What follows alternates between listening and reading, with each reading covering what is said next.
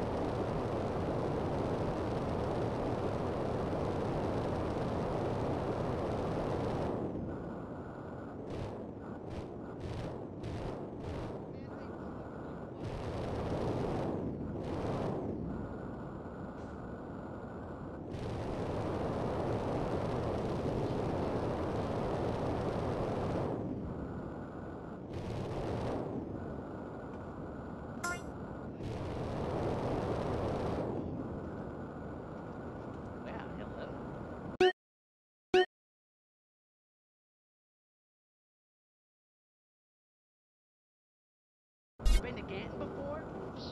I can't make it.